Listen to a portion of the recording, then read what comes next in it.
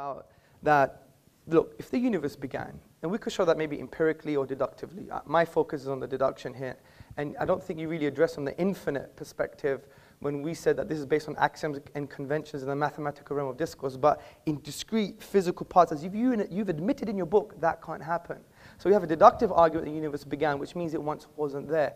Ontologically, if there wasn't a cause for that, you wouldn't have the universe in the first place. The second point I like to make. No, there's a pho- you see the photon that's lighting you up from that thing? Yes. It didn't exist What- before it was emitted by the electron. Yes. Okay? It didn't exist. Yes. It wasn't there. And you're saying there's no cause. It, there, it wasn't, you know, point is, yeah, I'm, I'm saying this.